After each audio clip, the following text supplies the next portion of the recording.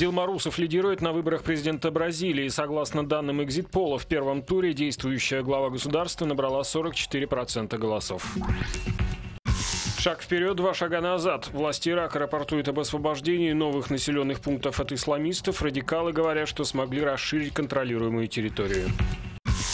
Власти Каталонии не теряют ни дня для агитации за независимость региона. На этот раз они воспользовались конкурсом человеческих башен в Тарагоне. Жюль Вьянки после нейрохирургической операции остается в критическом состоянии. Французский пилот Формулы-1 получил тяжелую черепно-мозговую травму на Гран-при Японии.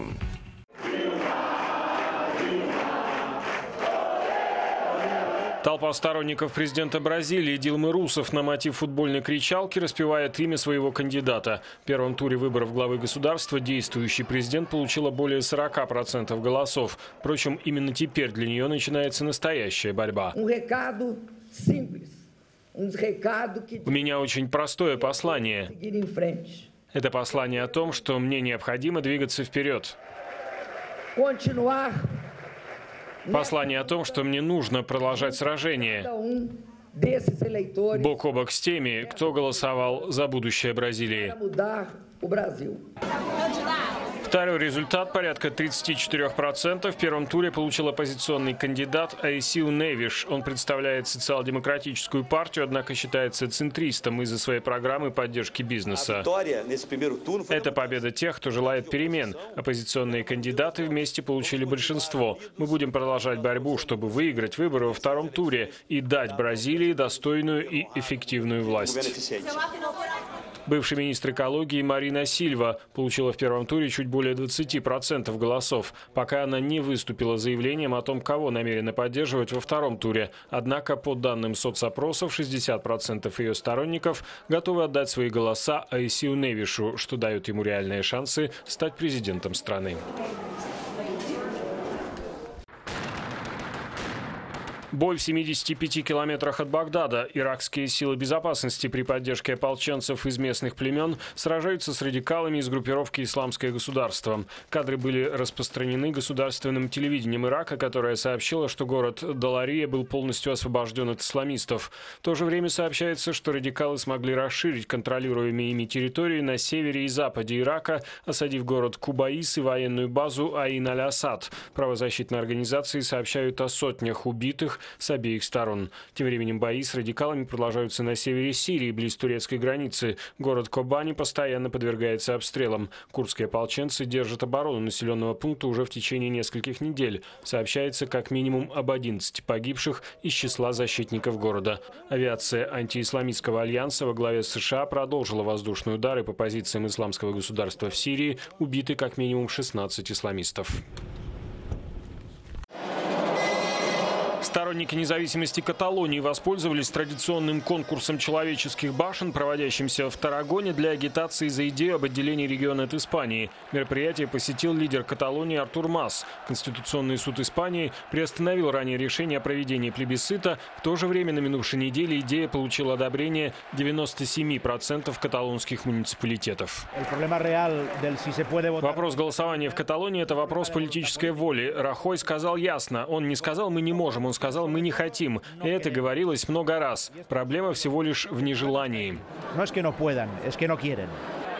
Несмотря на мнение Мадрида, каталонские власти намерены продолжать подготовку к референдуму и провести его 9 ноября.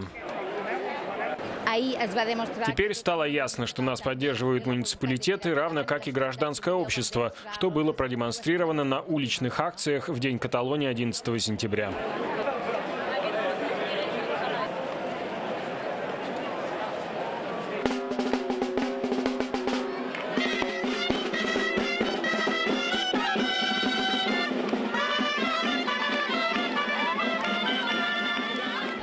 Жесткое противостояние между правительством Испании и правительством Каталонии продолжается. Пока что каталонский лидер Артур Мас смог объединить вокруг себя политиков и общества. Но долго ли так будет продолжаться?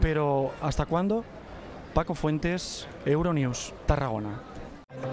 Париже и Бордо состоялись многотысячные марши сторонников движения «Манифестация для всех». Митинги прошли под лозунгом борьбы с суррогатным материнством и против наделения однополых пар правом прибегать к искусственному оплодотворению, говорит участник акции. Мужчина встречает другого мужчину. Они видят друг друга пару недель, они будут вместе, потом заведут ребенка, а потом разойдутся. Что станет с этим ребенком? И то же самое с женщинами. Две женщины вместе – это нехорошо. Бог создал мужчину и женщину. В тот же день в Париже прошла демонстрация в поддержку однополых пар. Говорит Гийом Буне, представитель группы All Out. Люди, вышедшие на марш протеста против равенства, в основном говорят, что существует одна единственная модель семьи. Или вы вписываетесь в эту модель, или ей не соответствуете. Но мы демонстрируем, что многие семьи во Франции уже не следуют этой модели. И на сегодняшний день семья строится на одном простом принципе – на любви. Ранее премьер-министр Франции Мануэль Вальс заявил, что у правительства нет планов узаконить суррогатное материнство. Но сторонники движения «Манифестация для всех» опасаются, что именно этот шаг станет следующим после легализации в стране однополых браков. На досрочных парламентских выборах в Болгарии лидирует партия ГЕРБ «Граждане за европейское развитие Болгарии». Руководитель партии Бойко Борисов уже заявил, что готов взять на себя все риски управления государством. ГЕРБ, по данным экзитполов, получил поддержку 33% избирателей. Болгарская социалистическая партия набирает около 16%. Наблюдатели считают, если центральным политическим силам страны не удастся договориться и создать правительство большинства, то политический кризис в стране продолжится.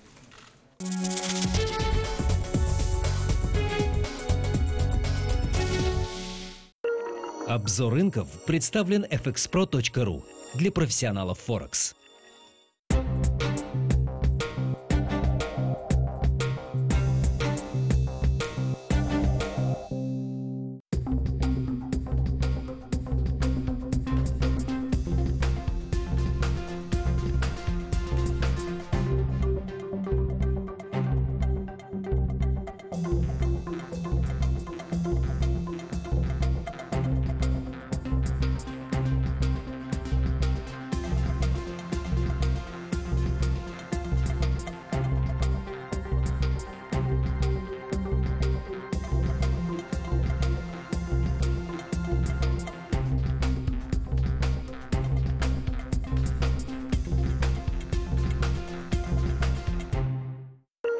Обзор рынков представлен fxpro.ru для профессионалов Форекс. В последнее время Ближний Восток становится все более привлекательным для мирового бизнес-сообщества. Рынки, инвестиции, энергетика, их возможности и перспективы. Новости и аналитика от наших экспертов в Абу-Даби в программе «Бизнес на Ближнем Востоке» на Евроньюз.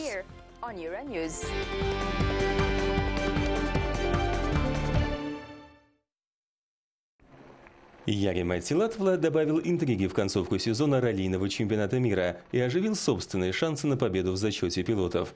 Финский гонщик Volkswagen выиграл Гран-при Франции, а лидер генеральной классификации и его партнеры по команде Себастьян Ожья занял лишь итоговое 13 место.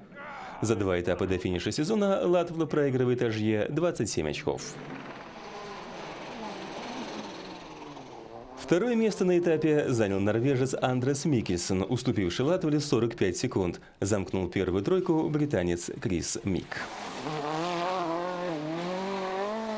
Четвертое и лучшее в сезоне место мог занять поляк Роберт Кубица. Однако гонщик Ситроена сошел с дистанции на последнем спецучастке за несколько километров до финиша. В первой десятке экс-пилот Формулы-1 в этом году финишировал лишь три раза. В голландском эро-дивизии ПСВ принимал у себя в Вейнховене «Эксельсиор» и открыл счет на 35-й минуте. Безобидный пас Адама Махера в штрафную площадку с левого фланга неожиданно стал голевым ударом. Отбить мяч не смогли ни защитник, ни голкипер Джину Каутиньо.